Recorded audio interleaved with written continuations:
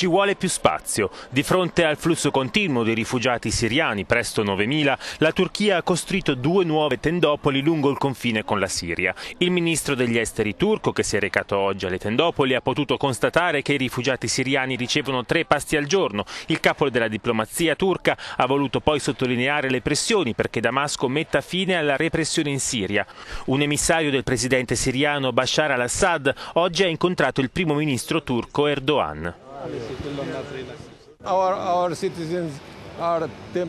I nostri cittadini sono temporaneamente, per un breve periodo qui in Turchia, presto torneranno alle loro case.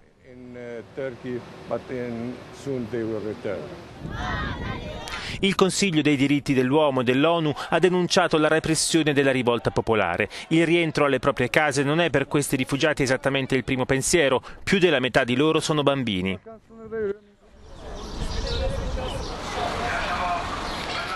Alle porte di uno dei campi qui in Turchia hanno organizzato anche loro cori di protesta contro il regime. Tanto che le guardie turche stanno predisponendo campi giochi per poterli distrarre.